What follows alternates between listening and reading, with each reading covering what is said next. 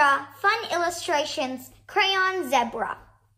For this, you'll need crayons or something to color with, a pencil or something to draw with, an eraser, just in case you make a mistake. And lastly, a sheet of paper. You can use any color. I'm just using white today. Let's get started. First, let's draw our zebra. For this, we're just going to turn our paper around and we're going to draw a big D. If you make a mistake, you can erase.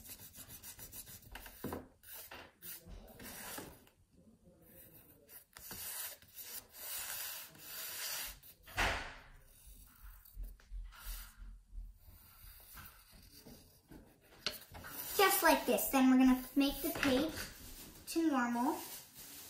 And then this is the shape it should be. Then we're going to draw a line like this. And we're going to make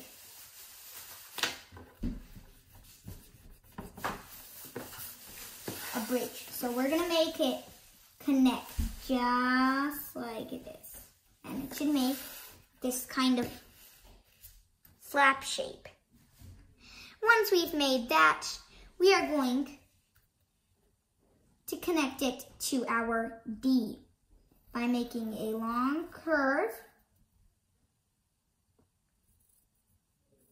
and then a straight line with a small curve. Just like this is what your horse should look like. Then you're going to extend the line onto the horse's body and make a curved line, just like this. She'll end up with this shape. We are going to add our legs. For our legs, we're going to make a line straight, then like this. Then we're going to repeat for the other side. Straight, sideways, straight. And then connect the line. Just like this, we're going to make our legs. We're gonna make four legs. So as you can see, I've made all four of my legs. And now I'm going to add the details. So for the details, we're going to make a kind of bow shape, the top, and then make a line from it connecting all the way to our body, which is curved along with the shape of the zebra. Once you have that, we're gonna add little hoops. So just like this, I'm gonna make a line on each of the feet. Now you have the hoops. And then we're going to turn it over just to make it easier and make a J. And then make another J that's smaller right on top.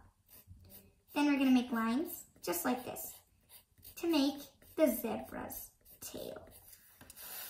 Now we have its tail. Then we're going to add some of its face details. So for its face details, we're going to make a line just like this. Then we're going to add a circle. And we're going to add a smile, just like this. Then we're going to add its eyes. We're going to make a small dot for its eyes. Time to color the zebra. I finished coloring my zebra. I know it looks a little bit pale, but you can add thicker and bigger stripes. Thanks for watching. Don't forget to subscribe, like, and share this video.